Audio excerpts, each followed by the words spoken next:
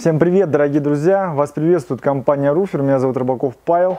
Сегодня тема нашего видеоролика посвящена устройству мансардной крыши. Сегодня третья серия моего небольшого сериала. Сегодня я хочу проговорить про э, утеплители, в частности про утеплитель минеральная вата. Мы сегодня будем касаться только этого вида утеплителя. Сейчас я нахожусь на мансардной крыше, на котором как раз этот утеплитель мы применяем. Э, лучше всего, конечно, про какие-то строительные материалы рассказывать непосредственно, непосредственно на объекте. Поэтому, э, пользуясь случаем, да, вам покажу кое-какие детали, как э, правильно использовать этот вид утеплителя на мансардной крыше. Вот, и, в принципе, в целом расскажу про, про плюсы и минусы этого вида утеплителя. Итак, минеральная вата. Раньше этот утеплитель назывался стекловолокно, сегодня его называют минеральная вата, потому что, потому что у людей отношение к названию стекловата, она не очень хорошая. Раньше, когда применялся этот утеплитель, э, люди обычно после него чесались, поэтому ну, производители, когда начали делать современную стекловату, чтобы не отпугивать э, людей названием стекловата, они начали его по-другому называть. Теперь этот утеплитель они называют минеральная вата. Есть различные производители, которые производят этот, э, этот утеплитель. Есть Урса, в данном случае вот этот утеплитель Урса Пурван, который мне очень сильно нравится. Кстати, в предыдущем ролике, который я в котором я показывал, как мы делаем утепление мансардной крыши. Именно вот этим утеплителем мы делали, э, мы делали утепление, и вы часто спрашивали, э, как называется этот утеплитель. Это Урса Пурван. Также есть производители Зовер, э, и еще из крупных производителей есть Кнауф. В принципе, они все похожи по характеристикам. Мое предпочтение уходит к этому производителю, вот, но это мое такое субъективное мнение. А, потому что когда мы используем этот утеплитель, по ощущениям немного меньше пыли. Вот по удобству работы примерно они все похожи, но вот по пыльности а, вот этот утеплитель мне нравится больше всего. Поэтому, а, когда мы разговариваем про утепление крыши, я рекомендую именно своим заказчикам потенциальным именно вот этот вид утеплителя. Значит, вот это у нас стекловолокно, плита, это вот обрезанный кусок, плита, она имеет размер конкретно этого утеплителя 60 а, сантиметров ширина, метр двадцать пять длина и три вида толщины у него есть. Есть 5 сантиметров, есть 10 сантиметров, есть 15 сантиметров. У КНАФа, я знаю, есть утеплитель, одна плита 20 а, сантиметров шириной. То есть, а, если так в целом сказать, значит, этот утеплитель может быть, этот вид утеплителя может быть 4 вида толщины. 5, 10, 15, 20 сантиметров, кому как удобно. Здесь вот у нас стропильная система идет 20 сантиметров, поэтому мы берем просто две десятки и с перехлестом стыков делаем, а, делаем а, утепление 20 сантиметров. И дальше вы видите, здесь вот у меня идет брусок 50 на 50 сухой строганный шагом 59 сантиметров. А, мы его нашиваем перпендикулярно стропилом и вставляем и вставляем еще один слой. В общей сложности у нас вот на этой конкретной крыше 25 сантиметров. Вот. Итак, вернемся к нашему утеплителю. Какие плюсы есть у этого утеплителя? Первое – это доступность. То есть этот вид утеплителя минеральную вату можно купить а, практически на любом рынке, в любом гипермаркете, приехал. То есть он есть там различных производителей, где-то Кнауф продается, где-то Урса, где-то Изовер. То есть, ну, в целом, да, мы можем в любой магазин приехать, купить его, привезти к себе на объект. Хватило там, не хватило нам вдруг одной пачки, да, мы поехали его купили. Второй момент, он а, Э, упакован специальные такие э, упаковки, которые его сжимают, называются термоупаковки, которые ему сжимают, потому что э, у этого утеплителя повышенная компрессия, видите, я его вот так вот сжимаю, и он восстанавливает очень быстро свою форму. То есть он, вот он должен быть 10 сантиметров, да, он 10 сантиметров и есть. Вот я его умну, вот, 10 сантиметров и есть у него. Поэтому производителям удобно очень упаковывать его в специальную упаковку, чтобы сжать, и при логистике его можно привезти даже на небольшом машине. Конкретно у нас здесь э, утеплители. Тут крыша в районе 60 квадратных метров. Сюда мы привозили где-то 15 кубов. То есть мы его привезли на небольшом УАЗике. Все это вместилось. Помимо э, утеплителя нам еще вместились бруски, вместились пленки. То есть по логистике, конечно, очень удобно его привозить. Третий плюс этого утеплителя это то, что он имеет класс горючести НГ, то есть он не горит. Вот, соответственно, наша конструкция, она получается пожаробезопасной. Вот. Есть другие виды утеплителей, как, например, экструдированный пенополистирол. Мы знаем, что у него горючесть Г4. Все помнят, например, хромую лошадь, когда а, система кровли была не совсем правильно сделана, когда были нарушены пожар, э, требования пожарной безопасности, произошел пожар, и этот э, вид утеплителя очень быстро разгорялся и выделял очень едкий дым. С этим утеплителем, конечно, такого не будет, вот, потому что класс горючести НГ. Четвертый момент – это монтаж. В принципе, э, монтировать крышу этим утеплителем не так сложно. Конечно, есть нюансы, но в целом э, монтаж этого утеплителя не такой сложный. Про нюансы я вам расскажу дальше. Если мы говорим про минусы этого утеплителя, то, на мой взгляд, у него есть два таких основных минуса. Первый минус – это то, что производитель любит говорить, что этот утеплитель не боится воды. На самом деле он боится воды, если мы реально этот утеплитель будем использовать на улице, например, утепление крыши снаружи или утепление фасада снаружи, и вдруг пойдет дождик, то понятное дело, что, на, что он намокнет, этот утеплитель. Вот, соответственно, его нужно очень быстро а, закрывать какими-то пленками или брезентами. Если этого не сделать, когда он намокнет, то в закрытом состоянии, непонятно, как он будет сохнуть. Поэтому то, что говорят производители, э, что этот утеплитель не боится воды, это полная ерунда. Конечно, не все производители э, такое говорят, но я сам лично был на различных семинарах, где менеджеры показывали опыты, наливали на плиту воды и показывали, вот видите, вода-то не впитывается. Но в реальных условиях, когда пойдет сильный дождь, конечно, это полная ерунда. Второй недостаток, который есть у этого утеплителя, назовем его недостаток в кавычках. Про него очень много любят сейчас рассказывать различные блогеры, которые строят, занимаются, вернее, строительством домов. Это то, что в реальных условиях в утеплителе будет точка росы, никакая пароизоляционная пленка она не спасет. Соответственно, точка росы э, будет делать так, что пар, который будет в утеплителе, он будет конденсировать и на 100% он будет терять свои свойства. На самом деле, что я могу сказать? Когда я учился в институте пассивного дома, а пассивный дом это очень энергоэффективный дом, я как раз задавался вот этими вопросами, какой утеплитель лучше, какой утеплитель хуже. И преподаватели, они всегда говорили, что нету хорошего или плохого строительного материала, важно, как ты этот строительный материал будешь использовать. Если мы берем минеральную вату, делаем качественную пароизоляционную пленку, то эта система кровля, она будет работать. И, в принципе, пассивный дом в своих проектах э, использует такой вид утеплителя не только в России, но и в Германии, в Америке, в других э, передовых странах. Когда делается вообще теплорасчет каких-то конструкций, то э, человек, инженер, да, он смотрит на характеристики утеплителя. Конкретно вот утеплитель Урса Пурван, у него э, есть характеристика теплопроводность этого материала, она обозначается в лямбде, лямбда конкретно этого утеплителя 0034. Где берут э, эти характеристики? Эти характеристики берут в специальных лабораториях.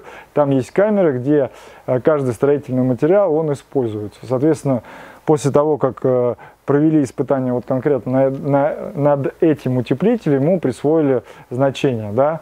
Лямбда 0,034. В реальных условиях инженеры также провели эксперименты и увидели, что этот утеплитель немного холоднее, примерно процентов на 20. То есть если мы к лямбде 0,034 присвоим, вернее прибавим 20%, то у него лямбда будет 0,041.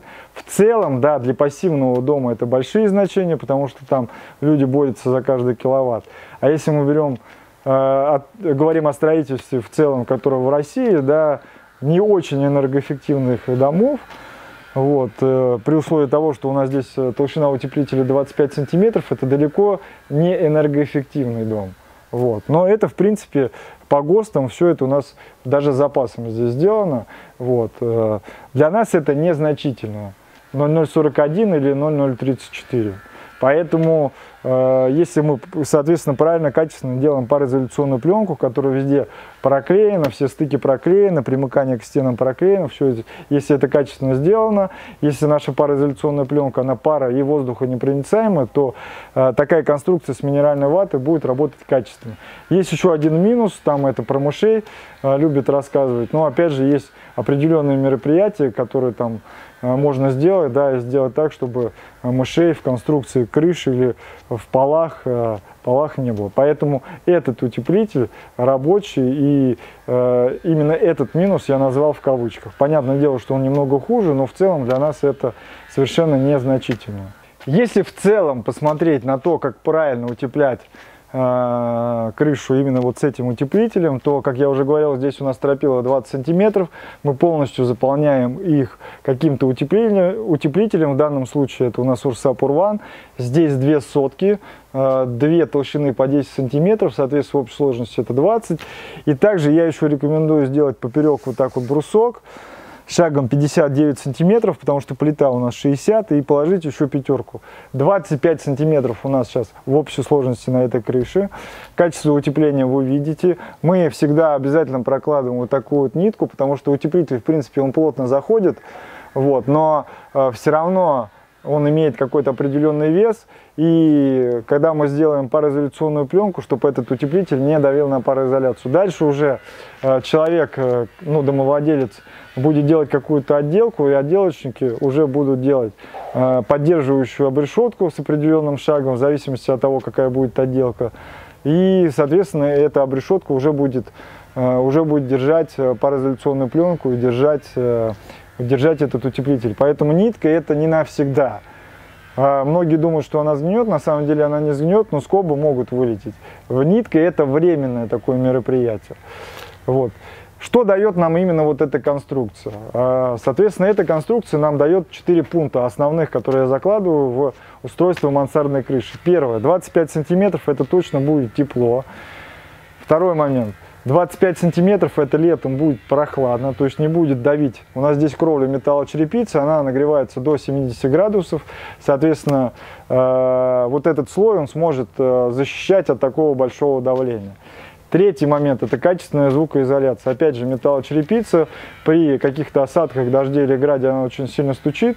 Соответственно, 25 сантиметров качественно защищает качественно защищает нашу мансардную крышу от этих звуков. И четвертый момент, такая конструкция в 25 сантиметров, она позволит сделать э, крышу э, без сосулек, потому что идеально, супер прям идеально, понятное дело, что утеплитель перелегать к стропилу не будет. Возможно образование каких-то микро-микро зазоров, и чтобы эти зазоры перекрыть, мы пускаем вот так вот перпендикулярно брусок и перекрываем еще 5 сантиметрами вот эти все микро Э, микро зазор. Что касается использования вот этого слоя утеплителя, э, многие писали в комментариях, даже звонили мне э, клиенты и спрашивали, а не будет ли точки росы. Мы можем этот слой выносить и делать его и сверху стропил. Можем его сделать и здесь. Никаких точек росы не будет, никаких проблем не будет. Это уже давно просчитано на калькуляторы различными производителями, тем же самым институтом пассивного дома. У них есть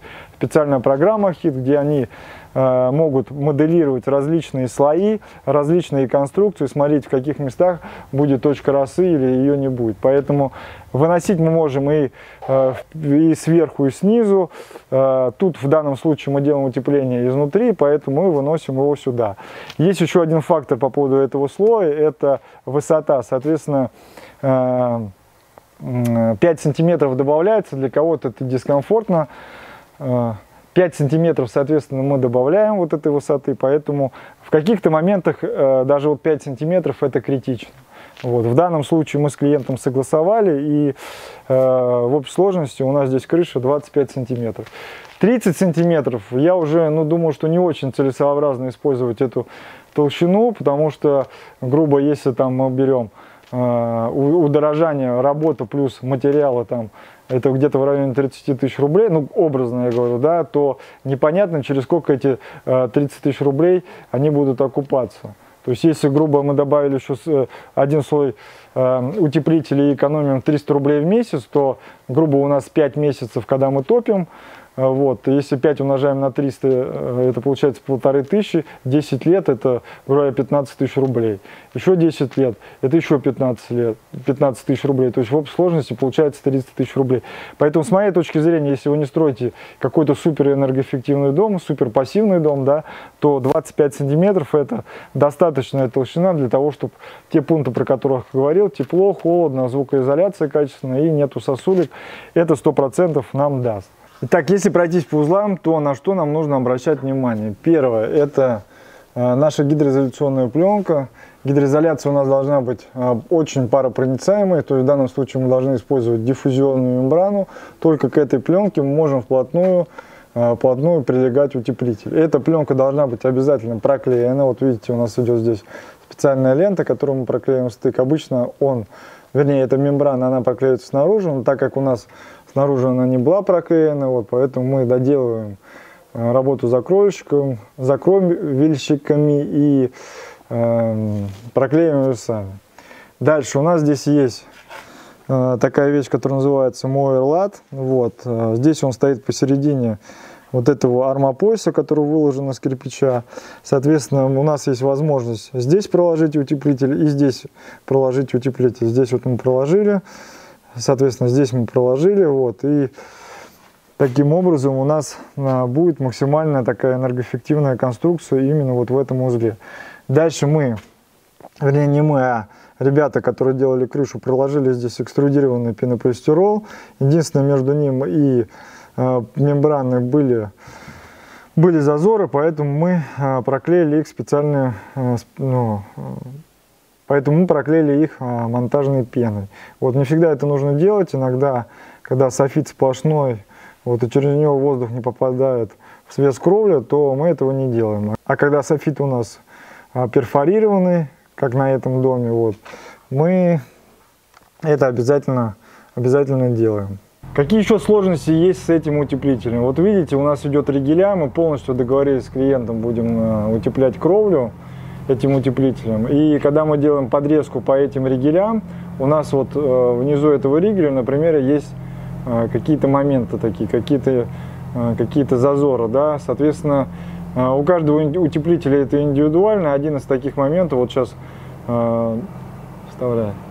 Сейчас мы вставим, покажу вам, как примерно вставляю, да, они затыкаются куском утеплителя. Это не самый идеальный вариант, но просто это место сложное и в целом, да, тоже должно все работать правильно. То есть вот один из таких как бы сложных моментов.